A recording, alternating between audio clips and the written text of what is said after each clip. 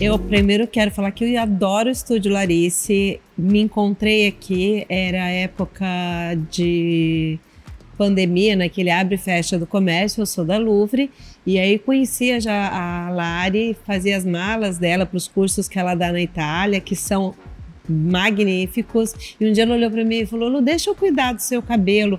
E realmente eu estava com muita falha de cabelo, eu tive muita queda, não tive Covid, mas tive muito estresse. Foi uma época difícil para todo mundo. E aí, a partir disso, eu comecei a vir aqui no estúdio Larice e tive uma experiência sensacional.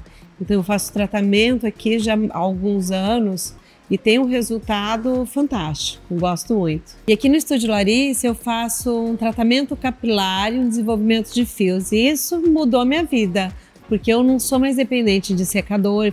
Eu tô hoje aqui, venho pintar o cabelo aqui de 15 em 15 dias.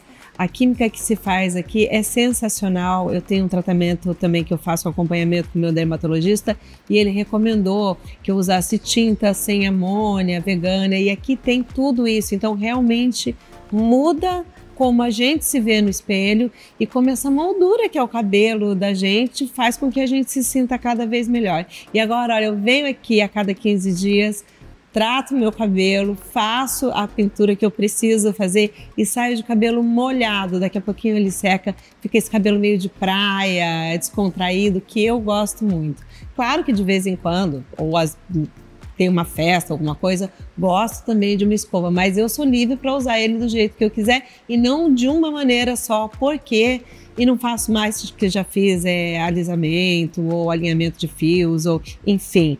Sou livre com meu cabelo, o Estúdio Larice me trouxe essa liberdade.